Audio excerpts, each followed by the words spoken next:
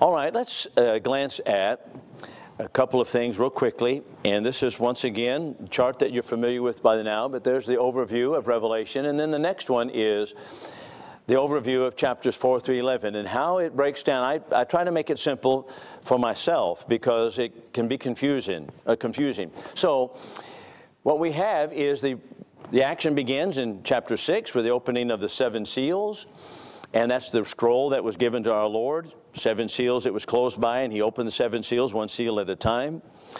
And then we have uh, chapter 7 is a a parenthetical statement, a parenthesis, which is before the seventh seal is open, here's what we're going to see. And this pictures the 144,000. He names 12 tribes of Israel. He doesn't name them in what we think of in the sequential order or in really the order that we know from Old Testament history. But we, but we know that he has the 12 tribes listed. He, for example, he leaves out Dan, he leaves out Ephraim. Those are not there as well as uh, he puts in the tribe of Joseph was technically not a tribe itself, but was divided into two, Ephraim and Manasseh. So that's kind of interesting how he does that. So it does show us that it's symbolic in character. But these are the ones that are sealed with the seal on the forehead, which is a protective custody sign that God gave them, that they would not be destroyed or, or uh, that they would be killed by what was taking place. Not necessarily that they would escape death, but that they would be sealed as God's people. And so we have 144,000 that are mentioned in the text as coming of the 12 tribes of Israel.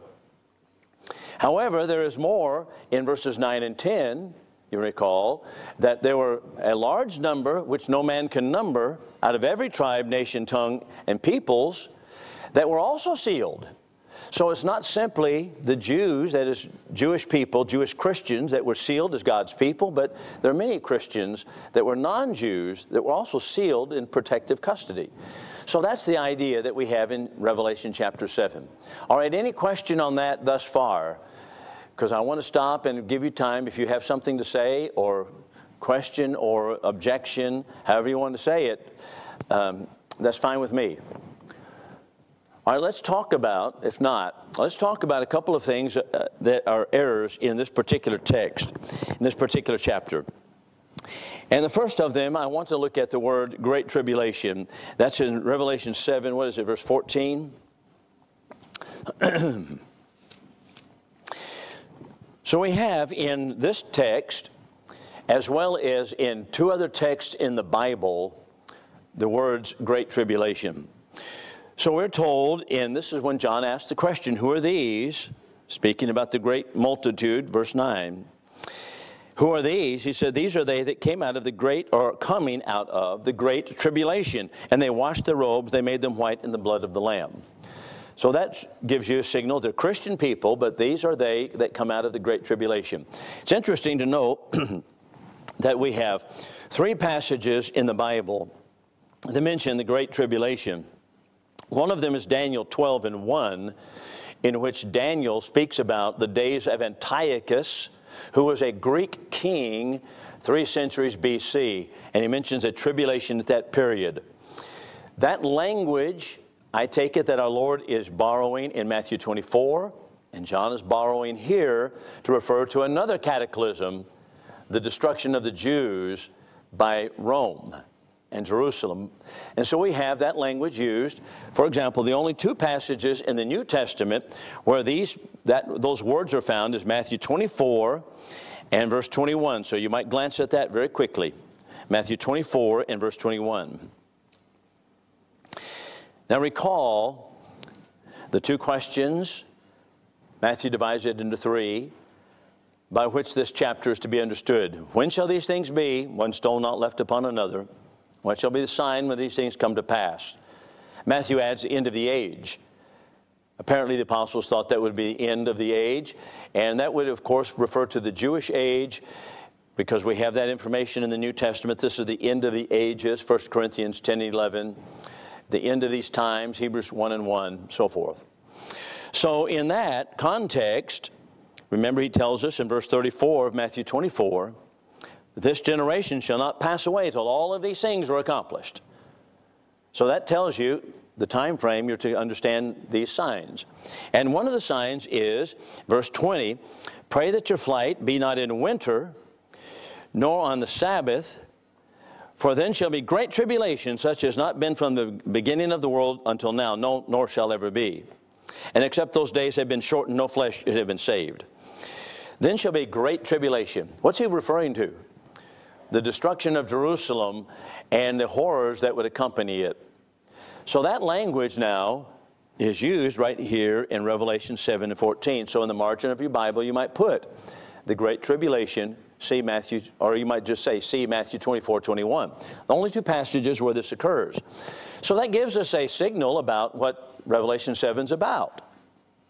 Not only so, but you have the entire chapter sealing Jewish Christians' protective custody by God, that they're His people, that shows you plainly that he's referring to the cataclysm that would come upon Judaism.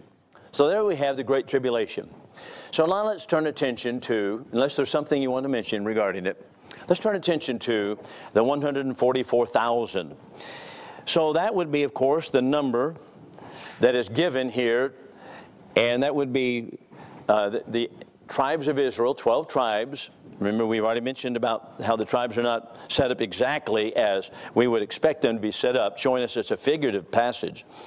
But we have that, those 12 tribes, and, and then we have it 144,000, the, the, the multiplicity of it.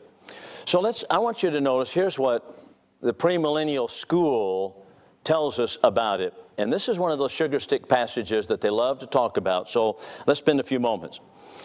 So, this is from John Walvoord. John Walvoord was at Dallas Theological Seminary, has impacted heavily the religious world with his premillennial ideas. He has a book called The Millennial Kingdom. And he makes, a, he makes this comment. He said, The one extreme is to disregard prophecy or to interpret it in a non literal sense. All right, what is he saying here? The study of these demonstrates that when prophecy is fulfilled, it is fulfilled literally. All right. What's he, what's he driving at? What do you think he's setting you up for here? Well, if it's going to be fulfilled literally, we have 144,000. That's it. There's no more. It's not a figurative number. It's not a symbolic number. It's literal. 144,000. End of story. And he said that's got to be fulfilled literally. But what about the principle that all these prophecies must be understood literally? What about that principle? Isn't that bizarre? Are we to understand that all as we read through Revelation and understand all these things literally? Obviously not.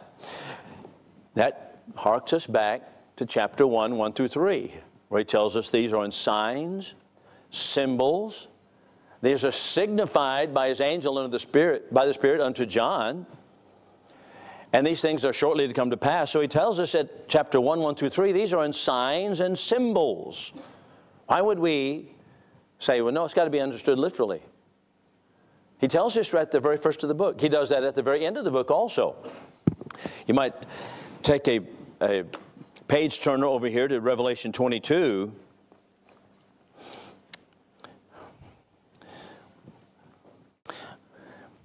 where he tells us not only that these are signs and symbols, but he tells us in this one, these things are shortly to come to pass, verse 6.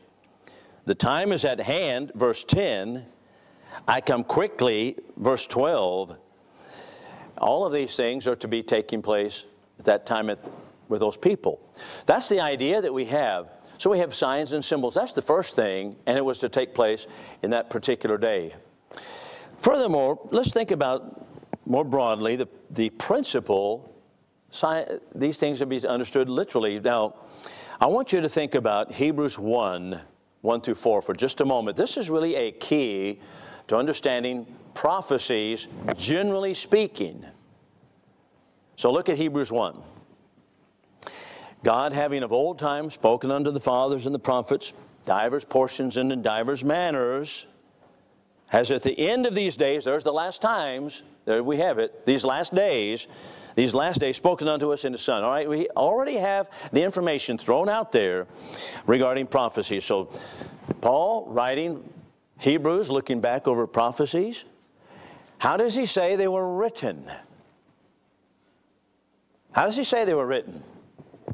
Now, I read from the ASV, and the King James reads probably the same way divers portions and in divers manners. Your modern translation might read a little bit differently. What does it say? Anybody have a modern translation? Does not read divers? Many times in many ways. Many times, many fashions. Many times, many manners. God spoke through the prophets in many times and in different manners. Can we understand or interpret all prophecy in the same manner if they're all written in different manners? No, no. That's foolish to assume, assume that. He tells you the key to interpreting prophecies is to recognize that there's not only different times, but different fashions, different manners they were given in. They were given in different manners. They were spoken in different manners. Some are told in figures of speech, such as we would have, for example, in Ezekiel chapter 37, we have David's as a type of Christ. We're not to understand that literally, are we? That David, my king, will rule over you. Are we expecting literally David to raise from the dead? No. That's Ezekiel 37 24. That's not literal. The same thing is the case in so many instances in the Old Testament. They are types, they're symbols of something else. We cannot interpret everything literally any more than they were given literally. Now, are some of them to be understood in literal sense? Yes. How are we to make a determination? How are we to determine how a prophecy is to be understood? This is important. There's only one infallible interpreter of the Old Testament. What is it? The New Testament. the New Testament. When the New Testament inspired writers say this is that, that settles the issue, doesn't it? Surely it does. For those who respect the inspiration of the Scriptures. So when David quotes Joel's prophecy about the sun being darkened, the moon turning to the blood, the stars of the heavens shall fall, understood literally, that's from Joel 2, 28, understood literally? Well, no. Why? Because David, I mean, Peter says at verse 17 at Acts 2, this is it. This is that which was spoken by the prophet Joel. And then he goes through that prophecy. So that, that is the interpreter of the Old Testament. The only infallible, no mistakes, is the New Testament. So the, the idea that we have to come to the New Testament or the Old Testament, as they like to do, and say these have to be understood literally, and that's, that's the manner in which we have to read them. No, no, that's a mistake to begin with. So you see how we're already starting off on a, on a wrong foot. So that's Walvoord's statement. So let me go on with it. Now, it's the same thing, for example, John 13 and 8. What is in uh, Revelation, rather, 13 and 8? What is in Revelation 13 and 8? We have an interesting text right here regarding a particular number. What is it?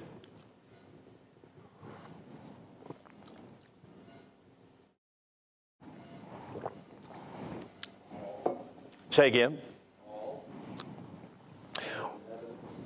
Uh, uh, 13 and 18, I'm sorry, 13 and 18, I'm sorry. I misled you there. Here, what is the number in 13 and 18?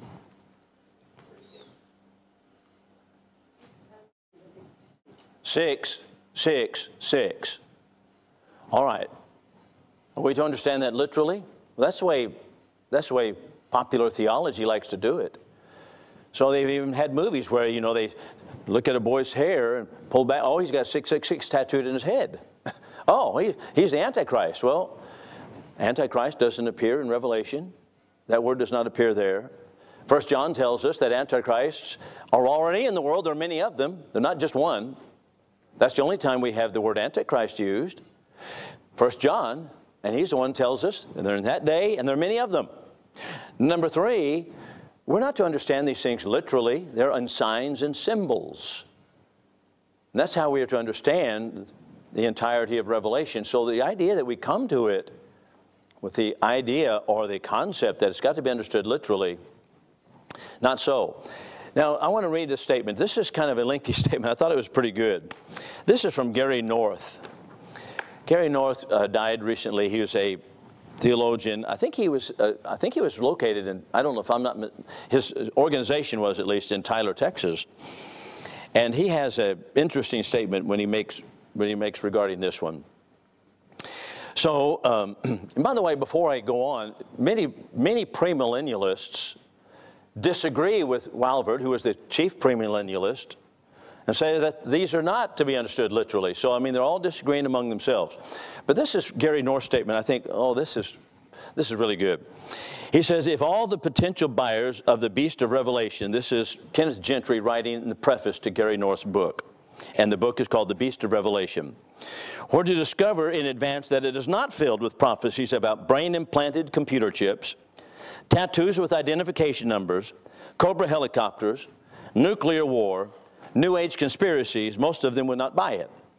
Customers of most Christian bookstores too often prefer to be excited by the misinformation provided by a string of paperback false prophecies than to be comforted by the knowledge that the so called Great Tribulation is long behind us, that it was Israel's tribulation, not the church's.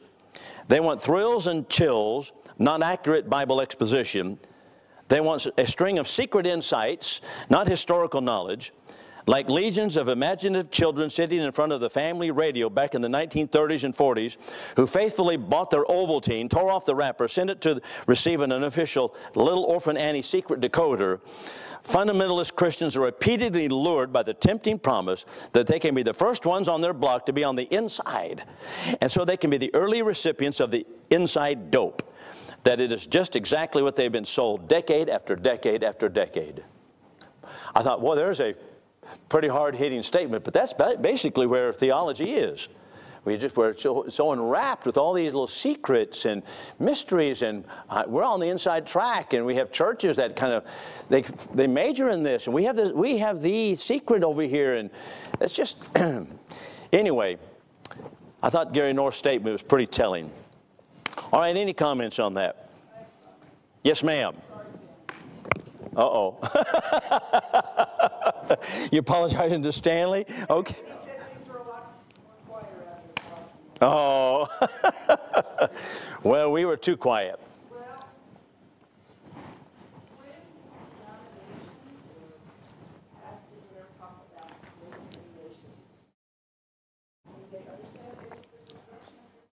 No. So here's how here's how it, it works. And it's the same thing with the AD 70 realized eschatology. We're going to have a debate later this summer on that issue. And, but the same thing there. they take passages, they begin with Matthew 24. That's why I had that screen up here. If you didn't hear the question and, and for the recording, uh, she's asking regarding uh, do they understand that these things are referring to the destruction of Jerusalem, such as Matthew 24 and the book of Revelation? The answer is absolutely not. Which is why I spent seven classes setting that up. That is, is the destruction of Jerusalem and its expansion to Matthew 24. That's why I went to, that's why I did this, pass, this screen right here. That's why I did this. Because if we understand this, Matthew 24, destruction of Jerusalem, taking place at the year 70, then all of these things now line up pretty easily and we can see how it, it works. But that's not what happens. So what happens? Well, here's how they do it. Just like the little decoder ring statement we read a moment ago. We come to a passage such as Matthew 24, and we say, um, this is the premillennialist mind, and you can't, you can't talk to someone about the second coming of Christ and you'll not, and you're, you're going to run into this. If you talk to anybody in the denominational world about the second coming of Christ, they're going to say, well, how about this? There rose uh, false Christ, false prophets, signs to lead wonders. And I've told you beforehand, then lightning comes forth from the east and seen in the west. Then uh, also, he says it this way, uh, the love of many shall wax cold. We have a song about that. The love of many waxes cold. And that means the second coming of Christ is about to here. And then let's take, let's take this abomination of desolation right here, verse 15 Abomination of desolation. That's Daniel the prophet. So let's uh, put that in there. And then we take Antichrist from uh, 1 John chapter 2 and we pick, uh, mix it all up. And what, what do we have? Confusion on the face of the deep. We are, we are not paying attention to contextual markers in Matthew 24. The love of many waxing cold. Have we heard that? Sure. All the time people say, well, look what's happening in the world today. You know what? From the Middle Ages, even early ages on, Christians always thought, this is the worst of times. It's happening now. Martin Luther said, I tell you what, the signs of revelation are about to occur. And there are so many of them that pumped out those ideas. Well, he's about to come because it can't get more wicked than the Roman church that was ruling them. And they said, well, this is it. This is it. Well, nothing happened. And, and that just goes on and on and on. So that's, that's basically how it happens. They take a passage here, a passage there, and take a, a prime, uh, the principle such, okay, you got to interpret these things literally, and they ignore the markers in the text, and then they throw it together. And then what do you got? Confusion. And you have everybody saying, well, okay, it's, about, it's all about to happen because we, we see these signs about to happen right now. Matter of fact, verse 7, Jesus says, Matthew 24, nation shall rise against nation, kingdom against kingdom. There shall be famines and earthquakes and do we see earthquakes today? Yeah, okay, that does, that does it. Well, we have earthquake right now. Okay, there's an earthquake the other day out there in California. Okay, well, that does it. What? That's how, that's how we do it. And I, I say that kind of sarcastically, but that's, what, that's how it happens. And so we just, we're not paying attention to the markers, putting them in their context. I don't know if that helps or not, but any other questions on that? Any other thoughts on that? Let's talk about the Jehovah's Witnesses for a moment. This is important also because the Jehovah's Witnesses, they are um, very, very assertive in their, in their evangelistic tactics. They knock on your door. And what do they want to talk about? The 144,000. they want to talk about the 144,000. Are you part of the 144,000? The 144,000 are the only ones going to heaven. That's the number exactly, just like John Walvoord says. No more, no less. Are you part of it? Well, okay, well, let's look at Revelation 7. So we kind of, and that's how they begin. That's, that's what they talk about. And Armageddon's about to happen. So you better be, you better be sure. and that's how the Jehovah's Witnesses begin. So what are some problems with that? Number one, we've already seen the context of it. But let's think about this also. Context, of course, being the destruction of Jerusalem. Remember, our Lord tells us Abraham, Isaac, and Jacob would sit down in the kingdom with him, Matthew 11, 8 and 11. But more than that, are Abraham, Isaac, and Jacob, which tribe do they belong to of Israel? Let me ask you that question. What tribe do they belong to of Israel? What tribe did Abraham belong to? Anybody know? Huh? What?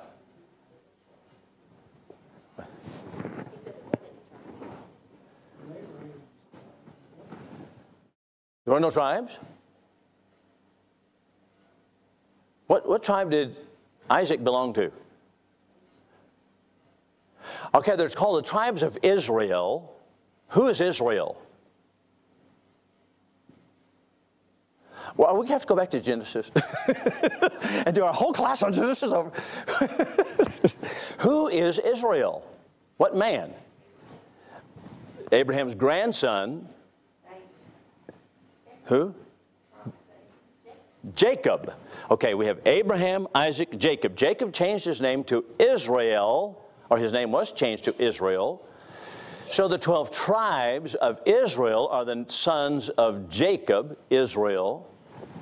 Jim pointed out, no such thing as tribes when Abraham was alive. No such thing as tribes of Israel when Isaac was alive. No such thing as tribes when Jacob was alive.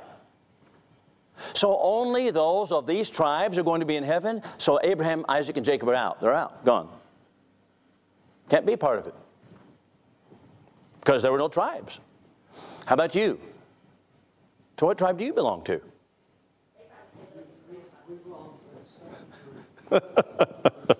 yeah, that's right. well, here's let's let's let's broaden it in just a minute. How many Gentiles are in the 144,000? None, zero. Are you a Gentile? I, I mean, I don't know all of your family trees, but maybe we might have some Jews in here. I don't know. but you know, we're all Gentiles, so we're out. We're out. Okay. There's no there's no part of it if you're a Gentile. Uh oh. Uh oh. Bessie said she wants to go have a good time. I think, well, yeah, I see that, Dave. I see that, Dave. Well, there's no hope. Well, there's a counseling room back here afterwards. We'll just. but that's true. That's right. There would be no hope. That's true. Yeah. So are you one of them? And she goes, I don't think so. I go, then what are you even messing with? yeah. Let's just go out and have a good time. How about this? How, what, what tribes are missing? Do we look at that in Revelation 7? What tribes are missing from the list? Dan and Ephraim. Dan and Ephraim are the two missing. Joseph was not a tribe. Joseph actually was split into two tribes, Ephraim and Manasseh. So no one from the tribe of Dan, no one from the tribe of Ephraim can be there either because they're not listed. So, who are some heroes that come from Dan and Ephraim? Well, I, put a list together of several of them here. How about Joshua? He's from the tribe of Ephraim. How about Samson? He's from the tribe of Dan. No mention of that at all. There are others too as well. So Joshua's out. If only the 144,000 from those particular tribes can be admitted.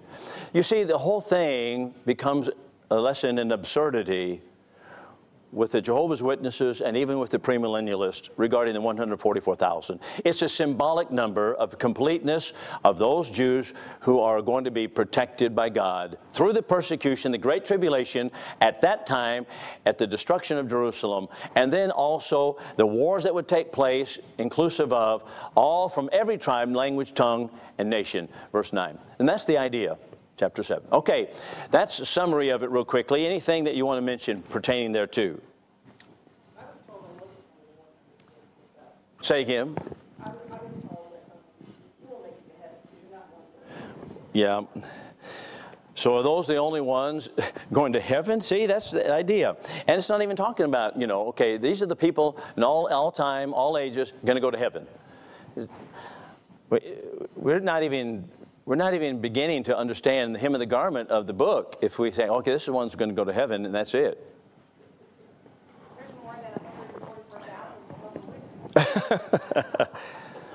well, that may be true. There are more than, she said there are more than 144,000 Jehovah's Witnesses. I don't know. I don't know how they would. That's a good point, actually. I don't know what, how they handle that one. All right, let's, let's look at the final opening of the seal, which is chapter 7, or beginning chapter 8, actually. And uh, let's, I want to do an overview because this is, uh, this is, at least in my mind, it's important to see uh, an overview and how it's, how it's laid out, what we have here. So we have verse 1 the seventh seal is open. Remember, there's the book, the closed book. Now the seventh seal is open. So he sees an angel, another angel, verse 3. We're just going to run down to it. And so we have the seventh seal divided into, subdivided into, what was it? We had it on the chart here. Right here. The seventh seal is subdivided into seven trumpets. Oh, all right, why subdivided into seven trumpets? It's, it's dramatic effect. It's just like in a movie that you're putting off the conclusion, this, the finale, and you're, and you're building suspense, you're building intensity in the story. That's all that we have here, understood symbolically. And so he takes the seventh seal, it's okay, it's not like, oh, yes, done. Now he subdivides that into seven trumpets. So let's look at the trumpets. The first one is found in verse 7. chapter 8, verse 7. And that is, the earth is smitten. Do you see that? Then we have the second one is found in verse 8. What is smitten here? Great mountain cast into the sea, and it's the sea. A third part of the ships were destroyed. That's the sea is smitten. The third one is verse 10. Third angel sounded. What, is, what does he see? A star burning. And what, what happens? What does the star do? Say again. Fell from the sky. Fell from the sky. What, what does he destroy? What does it destroy? The water, the water systems, right? The water, the fountains of the waters, the rivers and fountains. So let's go to verse 12. The fourth one sounded, and what's smitten here? What is hit, huh? The sun. The sun is smitten. All right, then we have finally come down here to uh, chapter 9 and verse 1, and you have a fifth angel sounds. And what do you have? A star fallen from uh, fallen to the earth from heaven. There was given to him a key of the pit of the abyss. He opened the pit of the abyss, and went up smoke out of the pit. And then we have verse 3 which came out of the pit is locust. Well, where did that language come from? Well, that's all language right out of Joel's prophecy, chapter 2. Joel has all of these, uh, the wars and the warriors pictured as locusts, and he gives us he gives us graphic description of these warriors that are like locusts. So it's a locust plague. Then we have go down to verse 13. We're just doing a bird's eye view.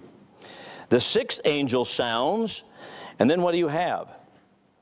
You have armies from the Euphrates, the angels holding back the winds. Remember that how it's open in chapter 7? Now you have armies coming over the Euphrates, and in other words, they're let loose. That, that is what God has been holding back, is let loose. And here they come. Euphrates being a symbolic river, not necessarily to be understood literally.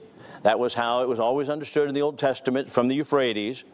And then finally, let's go to chapter 11 and verse 15, and you will see the seventh angel that sounds, and there's followed voices in heaven. And this is, of course, the kingdom of the world. That is, the rulership of the world is turned over to the rulership of Christ. And that's what we have in 11:15. So those, there's the seven angels that sound. So you see how the seventh seal is now subdivided into seven different sounds. So that kind of breaks it up and gives us uh, gives us an anticipation and what's about to occur. Let's notice also this. Um, let's just let's pick up uh, chapter 10, verses 1 through 7, and look at four things that are presented. There's an interlude here, 10 and 1. So you might, if you mark in your Bibles, from chapter 10, verse 1 through uh, chapter uh, let's say it's 10, I guess it's 10, 1 through 7. The first is an interlude here, or pause. I guess, I guess actually the, the major interlude is chapter 10 all the way through chapter 11, verse, uh, verse 14. There's kind of a pause in the action. And there's messages that are given. And then this pause in the action, there are four things that occur. Let's watch what happens. And we'll go back and pick up the pieces as we go along. Number one is verse 1 of chapter 10 a mighty angel coming down from heaven, arrayed with a cloud and a rainbow on his head. So there he has number one. And he says basically the message is the delay will be no longer. See that in verse 6? No more delay. All of this has been delayed. What's happening, with the actions happening to Jerusalem, it's all been delayed. Then you have, there's an eating of a little book. This will be chapter 10 and verse 9, you, where you have Eating up the book, this is John being spoken to, makes his belly bitter. In your mouth it will be sweet as honey. So he ate the little book. And then he said, verse 11, you'll prophesy again over many peoples, nations, tongues, and kings. That would be to, to John. So that's number two thing. Number three thing, the thing, third thing that happens in this interlude is a measuring of the temple of God, chapter 11, beginning verse 1. There was given to me a reed like a rod. And one said, Rise, measure the temple of God, the altar, and them that worship therein. So we have the measuring of the temple of God. And then number four, we have the two witnesses, verses 3 through 13. Two witnesses who testified of our Lord, and then they were killed. So those are the four things that happen. So we have seven trumpets, After the sixth trumpet, there's an interlude, there's an intermission, pause on the action so that we can bring the crescendo finally, and the seventh angel finally sounds, chapter 11, verses, verse 15. So that's how it's laid out. Does that make sense? Now, in my mind, I, I like, I need an overview. I need, I need to see the big picture before I can descend into the details. You may be that way too. Sometimes people uh, begin in the details and then kind of find the big picture later. That, that's fine if you do it that way, but I, I like to find the big picture. So that's what's happened. So here's how it breaks down seven seal, seven trumpets. The climax is the temple in chapter 11. Something else interesting here, and that is measure the temple of God. And he tells us in verse 8 that the temple is found in what city? Chapter 11.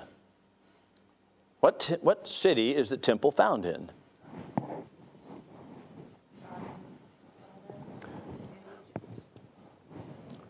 What is the city, though, that is called Sodom and Egypt? The city where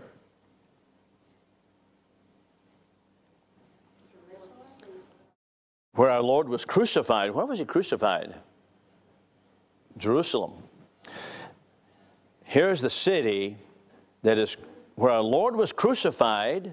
That's where the temple is, which is called Sodom and Egypt. Well, why was it called Sodom and Egypt? Well, because of the wickedness. That's, those are symbolic names, but he tells us very plainly. Oh, okay. Yeah, so, so we have specifically told right here, chapter 11, verse 8, that's the city where our Lord was crucified, and he's talking about the temple, measuring it. It seems to me pretty clear that he's talking about the city of Jerusalem, very plainly says so in verse 8, and what takes place there. All right, any questions on that? Anything that we, uh, we hurried over some of that material?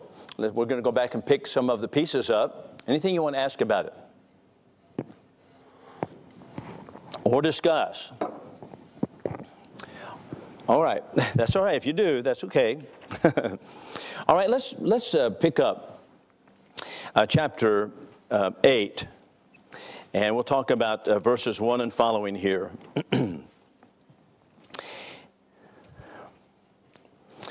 so we have he opened the seventh seal.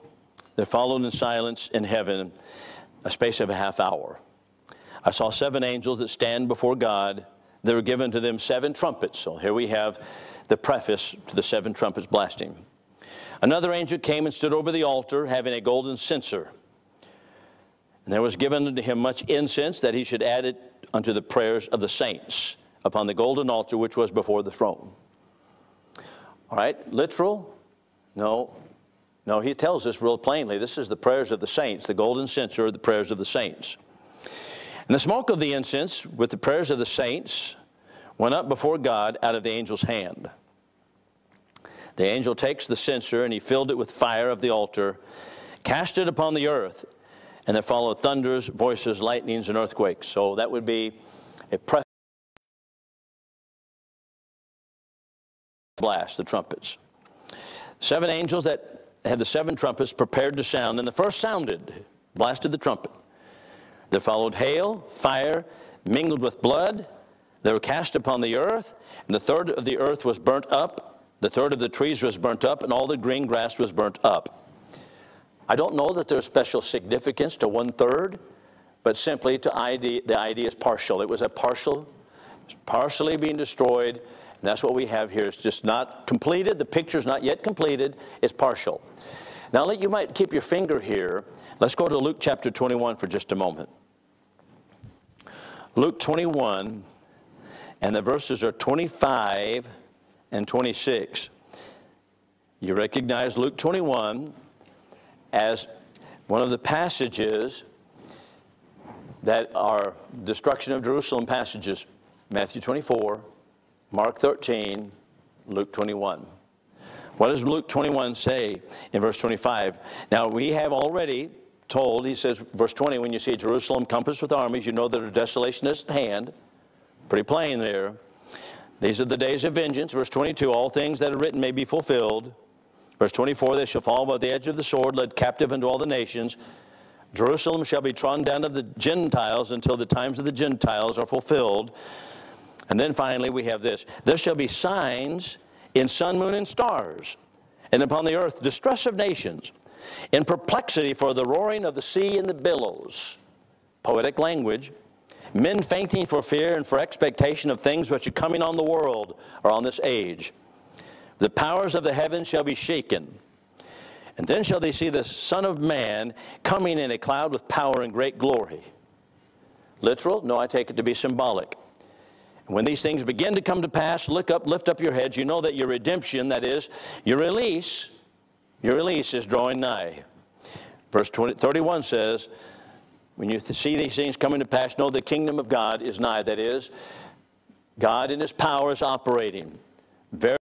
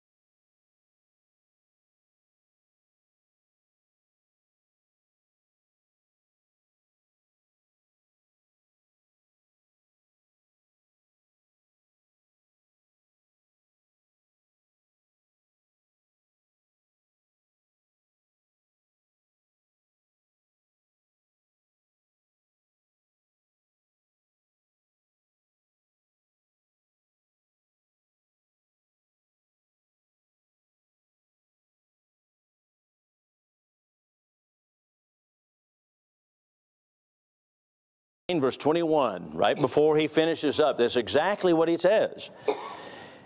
He says, And they repented not of their murders, their sorceries, their fornication, or their thefts, which is, I'm glad you brought it up because that's the practical point of it. These destructive forces were to cause them to repent, and they repented not. That's exact, I think that's exactly right. Say again? No, we're in Revelation. I'm sorry, this is Revelation. I, I referred back to Luke 21 a moment ago, verses 25 and 26. But I think you were reading a, a note in Revelation there, weren't you, that you had written? I made a note, and it was in, uh, right after, uh, chapter, five, Revelation five, I just made a note. Oh, right. And we were probably doing the same thing years ago, flipping back, and anyway, I just made a, a note. I says, you know, we all have a chance to change, and he's showing wrath, and that we need to see it, Right. That, and that's exactly what the Jews had an opportunity to, and it shows us God's principle that that's exactly right. When we see things happening like that, wrath, whether it be then or today, we have opportunities to repent. And I think that's, that's the good practical message of it. That's right. I believe that, and I think that's what we have in chapter 9, the end of chapter 9. They didn't repent, so completely destroyed. Sad, isn't it? Will America repent? Oh. I'm, I'm fearful myself. I know. well, I'm not either. I think it has to get a lot worse before people realize what, we, what we've done. But okay, thank you for that comment, and we'll conclude with that one.